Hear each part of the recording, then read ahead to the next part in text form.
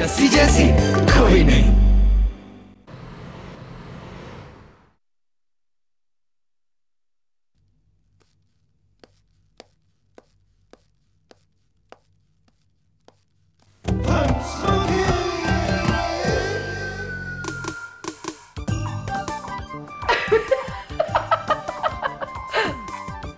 Hi hello तुम मैं जसमीत वालिया। मुझे पता है? कैसे पता? अरे तुम्हारे बारे में किसको नहीं पता? फ़ैशन वर्ल्ड की इकलौती बाबी डॉल तुम ही तो हो। जी। आई लाइक योर स्पेक्स पर तुम यहाँ क्या कर रही हो? मैं वो आईएफएच की प्रेसिडेंट मिस हंसमुखी से मिलने आई थी। और तुम्हें मिल गई हंस मोटी।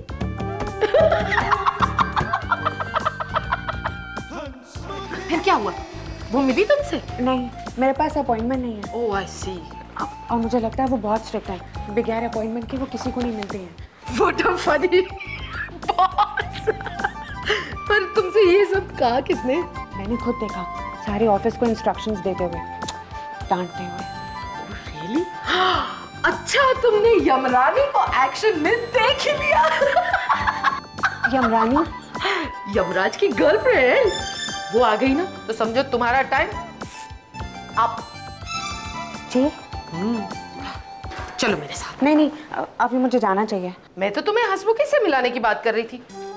अगर तुम नहीं मिलना चाहती तो पर आप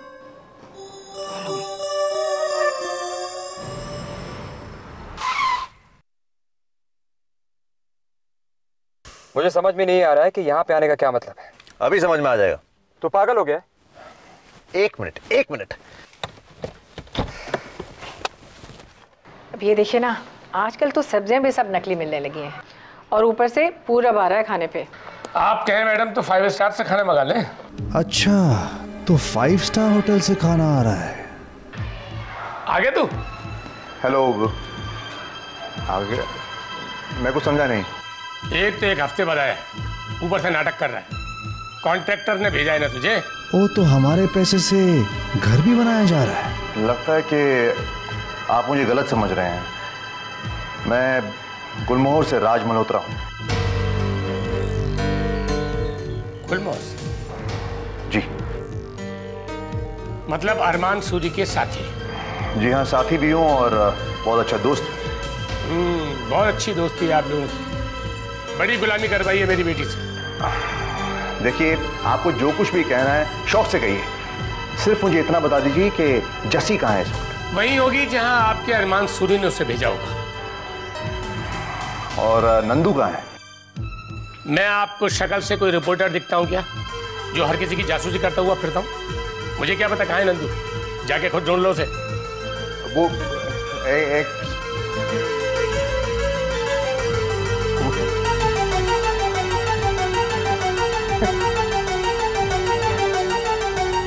मिसेस सेठ ये पहली बार नहीं है कि किसी कंपनी के पार्टनर ने मुझे इस तरह मिलने के लिए बुलाया है। और वैसे आप तो डेली ऑपरेशंस में इन्वॉल्व ही नहीं है। जी नहीं बस कुछ ही दिनों से मैं रेगुलरली आ रहा हूँ पर। और इन कुछ ही दिनों में आपने इस कंपनी को बेचने का फैसला कर लिया। वैसे मिस्टर सेठ इस फैसले में आप अकेले हैं कि आपके साथ कोई और भी है? वाह मिस्टर मेहरा मानना पड़ेगा।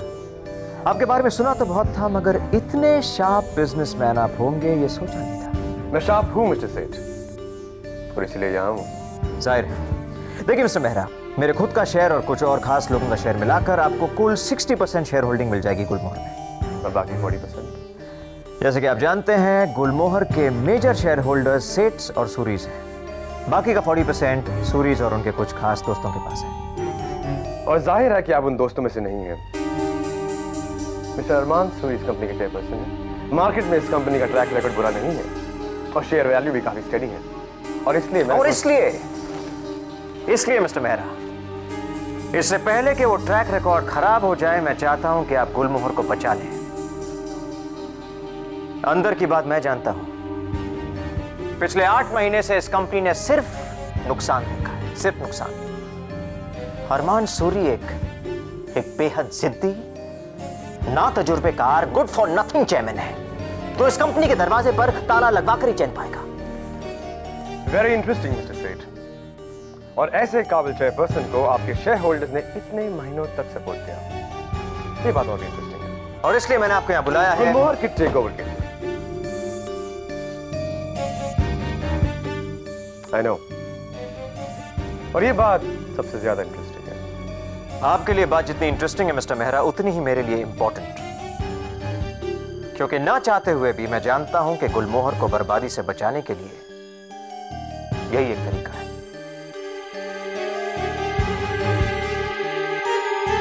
मैम क्या हुआ? आपको मिस हंसमुखी मिली? तुम्हें क्या लगता है? यहाँ का बॉस कौन है? वही जो बाहर डांट रही थी? जी। और अगर मैं ये कहूँ कि वो बॉस नहीं बल्कि हमारी कभी स्वीट कभी चिली मैनेजर है तो? जी। हाँ। आईएफएच की बॉस और हंसमुखी दोनों ही मैं हूँ।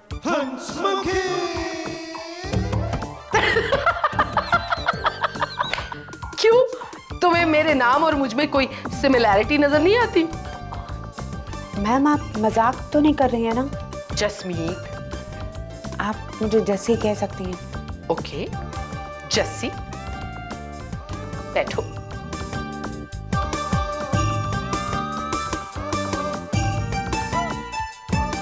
अब एक बात बताओ। जस्सी मैंने तो तुम्हें जॉब ऑफ़र बहुत पहले भेजा था लेकिन तुमने रिप्लाई नहीं किया। और आज अचानक?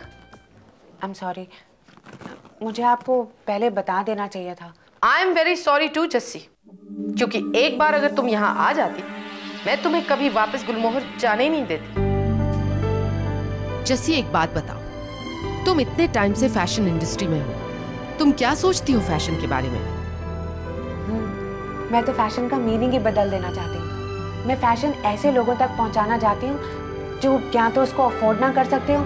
या फिर ये समझते हो कि फ़ैशन उनके लिए है ही नहीं? वंडरफुल सुपर एक्सलेंट लोग तालियाँ बजा बजा के थक जाएँगे। लेकिन इस शो का नाम क्या होगा? कौन सा शो यस जसमुखी जस्सी और हंसमुखी का स्पेशल शो जसमुखी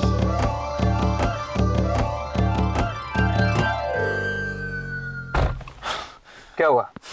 वो अकाउंटेंट सिर्फ़ जस्सी का नहीं हमारा भी बाप निकला। उसने ऐसा क्या कह दिया? अरे क्या नहीं कहा उसने यार।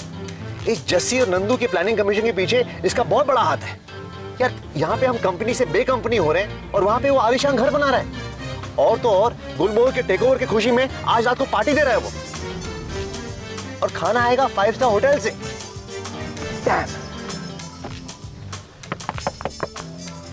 नंदू मिस्टर नंदन वर्मा। आप लोग यहाँ पे क्या कर रहे हैं? जस्सी कहाँ है? आप लोगों ने उसको फिर से भगा दिया? भगा दिया? क्या मतलब है तुम्हारा? राइट टाइम पे रॉन्ग जोक नहीं मारते ना। अरे हम जस्सी से नहीं तुमसे मिलने आए हैं। लगता है ये इन लोगों की कोई नई चाल है। हाँ बोलिए आपको मुझसे क्या काम है? यहाँ पे नहीं अ, हमारे साथ चलना। अरे वाह आप लोग मुझको फिर से फाइव स्टार लेके जा रहे हो? अरे डोंट वरी तुझे इतने सारे स्टार्स दिखाएँगे ना तो भूल जाएगा सब कुछ। अरे बैठना गाड़ी में चला जा जा जा जैसी हमारी डीलिंग सिंपल और स्ट्रेट होगी। तुम इस फ़ैशन हाउस के बिज़नेस डिसीज़न लिया करोगी और मैं तुम्हें अपनी लाइफ बुक में से टिप्स दिया करूँगी। टिप्स जैसे कि पहला टिप अगर कोई बहुत गुस्से में हो तो उसे बहुत बड़ी स्माइल देना। अगर कोई खिजा हो तो उसे मीडियम स्माइल दो। और अगर कोई खुद ही स्माइल कर रहा हो तो नो स्माइल और अगर मोटा और चश्मे वाला हो तो ज़ोर से हँसी देना चाहिए।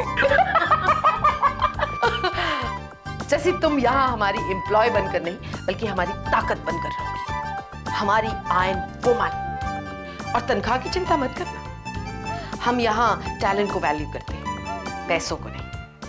अब देखना जस्सी तुम्हारा चेहरा और मेरी फिगर मिलकर कैसे फ़ैशन वर्ल्ड को हिला के रख देने वाला है। मिस्टर सेठ अगर आपका चेयरपर्सन ही आपकी प्रॉब्लम है तो आप उसे वीटो करके बदल क्यों नहीं देते? कोशिश तो बहुत की है, मगर हर बार वो कोई ना कोई ऐसी सिचुएशन पैदा कर देता है, जिसकी वजह से किसी भी तरीके का बदलाव लाना मुश्किल हो जाता है। केस, मिस्टर सेठ आप इतने बड़े बदलाव को कैसे हैंडल करेंगे? आई मीन टेक ओवर के बदलाव को। देखिए, मैंने आपको यहाँ बहुत सोच समझ कर बुलाया है। मिस्टर सेठ मुझे सिचुएशन को हैंडल करने के लिए कुछ इन्फॉर्मेशन की ज़रूरत होगी।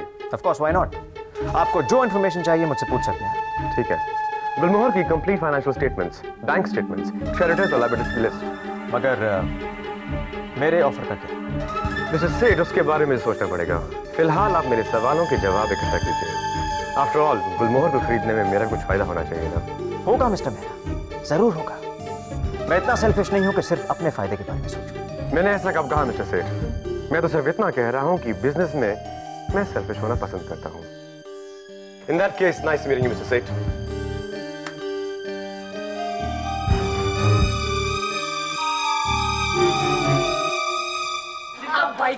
excuse me Pari आज तुम हमारे बीच कैसे? तुम लोग तो हमेशा मुझे गलत समझती हो। मैं तो सिर्फ़ तुम्हारे ग्रुप के एक मेंबर की कमी को पूरा करने की कोशिश कर रही हूँ। मैं प्रॉमिस करती हूँ कि मैं बिल्कुल सुधर जाऊँगी। और मैं तुम लोगों के दुख बांटूँगी। हाँ परी। अगर तुम हमारे साथ रहोगी तो हमें दुख तो बड़ा होगा। तो इसलिए पतली परी तुम पतली गली पकड़कर नौ दो ग्यारह हो जाओ समझी? हट पागल। पहले उससे ये तो पूछ कि वो हमारा कौन सा दुख बांटना चाहती है? हाँ बता। जस्सी ने गुलमोहर से रिजाइन कर दिया है। क्या? क्या? अरमान ने उसका रेजिग्नेशन एक्सेप्ट कर लिया है। परी ये बहुत ही बकवास मज़ाक है। पर परी क्या अरमान सर ने तुमसे कुछ कहा? नहीं नहीं अरमान ने मुझसे कुछ नहीं कहा। और प्लीज़ प्रॉमिस करो कि तुम लोग किसी से कुछ भी नहीं कहोगे हाँ? नहीं नहीं नहीं कहेंगे। गर्ल्स अपना ख्याल रखना। टेक केयर ओके बाय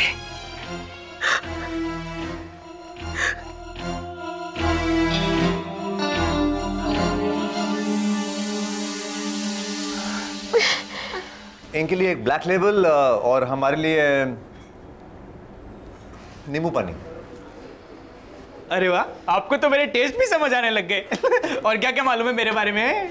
यही कि तुम बहुत ही मेहनती हो और एम्बिशियस हो। हाँ गंगू तेली भी राजा भोज बनने के सपने देख सकता है। जोकिंग जोकिंग बंगला गाड़ी लड़की ये सब तो तुम्हारे लिए मामूली बात होगी है ना? खैला आप तो सब कुछ जानते हैं मेरे बारे में। इसलिए हम तुम्हारे लिए एक प्रपोजल लेकर आए हैं। कैसा प्रपोजल नंदू तुम कोहिनूर के लिए इतना सारा काम करते हो और तुम्हें सैलरी मिलती कितनी? इतनी। ओ आप लोग मेरी सैलरी बढ़ाने के चक्कर में हो। चलो किसी ने तो सोचा मेरे बारे में। हम तो तुम्हारा ख्याल हमेशा से रखते आए तन तन फरमा। और ये सब पाने के लिए हम तुम्हारी मदद करेंगे। अगर तुम हमारी मदद करो। वो कैसे? देखो नंदू तुम तो जानते हो कि जस्सी ने तुम्हारे कहने पर गुलमोहर को छोड़ा इसलिए वो वापस भी तुम्हारे ही कहने पर आएगी ना? लेकिन तुम्हें कोहिनूर को हमेशा के लिए छोड़ना होगा। और जस्सी को गुलमोहर में वापस लाना होगा। सोच लो एक तरफ़ इतना सारा काम और दूसरी तरफ़ आराम ही आराम। ओहो मलिका मेरी बात तो सुनो मलिका। जस्सी ने जस्सी ने रिजाइन कर दिया है।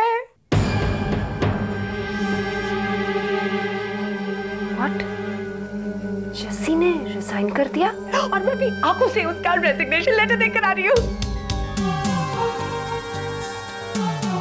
लेकिन किसी ने मुझे अब तक बताया क्यों नहीं? वो इसलिए क्योंकि अभी तक ये खबर ऑफ़िस से बात आउट नहीं हुई है। स्ट्रेंज आखिर जस्सी ने रिजाइन क्यों किया? मुझे भी नहीं पता।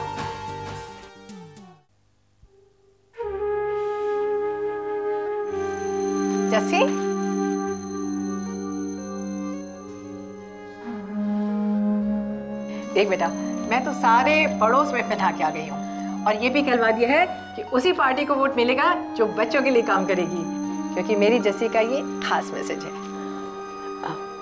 थैंक यू मामा क्या बात है बेटा? उदास क्यों है? फिर वही हिटलर वाली कहानी? ज़रूर उस सूरी के बच्चे ने कुछ उल्टा सीधा बोल दिया होगा।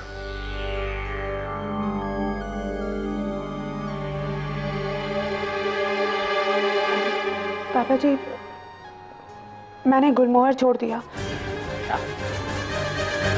वो मैं आईएफएच गई थी चेयरमैन से मिलने के लिए और उन्होंने मुझे एक नया जॉब भी ऑफ़र किया गुलमोहर में ऐसा क्या हो गया कि तुझे अचानक मामा गुलमोहर में गलत फहमियाँ इतनी बढ़ती जा रही थी कि मैं मुझे गुलमोहर में काम करने से कोई प्रॉब्लम नहीं है। इस बार मेरे सामने एक ऐसी शर्त रख दी उन्होंने कि जिसके जवाब में मैं सिर्फ़ इस्तीफा ही दे सकती थी।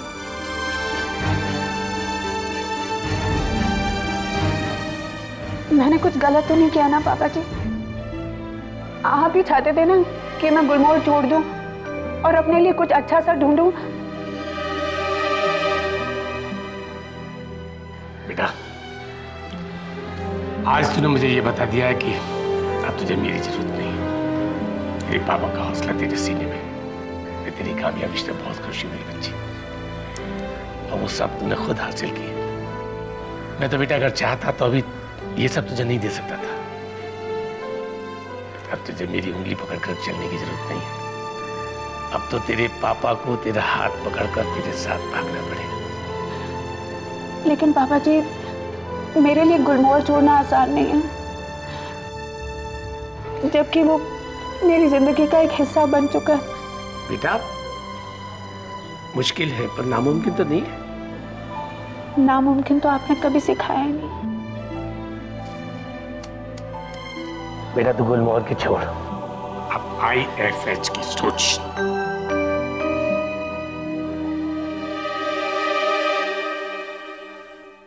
नंदू तो क्या सोचा तुमने? समझ गया मैं। आप लोग शक्ल से तो काफ़ी अमीर शरीफ और पढ़े लिखे दिखते हैं पर बातें गुंडों जैसी करते हैं। इसीलिए शायद आपने मुझे भी चोर समझ लिया ना? आप लोग गए थे ना मेरी मम्मी के पास शक्ल बदल के पूछताछ करने? पर वहाँ जब दाल निकली तो सोचा कि नंदू को दारू पिला के सब कुछ उगलवा लेंगे। अपना भाषण बंद करो नंदन वर्मा। अगर तुम्हें डील मंजूर है तो बोलो वरना डील पे लग गई सील मिस्टर अरमान नंदन वर्मा इतना कमज़ोर नहीं है कि एक स्कॉच के पीछे अपने दोस्त की पीठ पे वार करे। मुझे आपकी चीप रिश्वत नहीं चाहिए। क्योंकि ना तो जस्सी चोर है और ना मैं। मैं तो कोहिनूर से इस्तीफा भी देना चाहता था। पर मुझे जस्सी ने रोक लिया। आप लोगों की खातिर। जस्सी खुद को धोखा दे सकती है सर। लेकिन गुलमोहर या कोहिनूर को नहीं।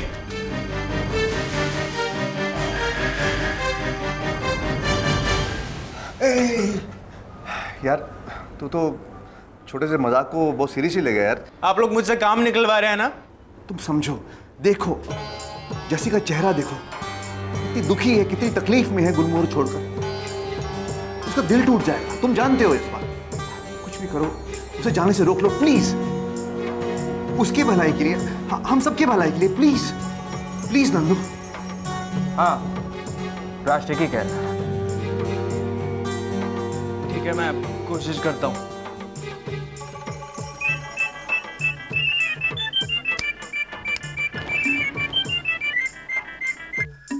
हाँ जैसी।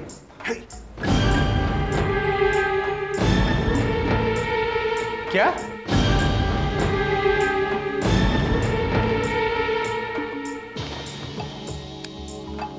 सॉरी सर अब मेरी कोशिश का भी कोई फ़ायदा नहीं। क्यों? क्या हुआ? जैसी को नई नौकरी मिल गई।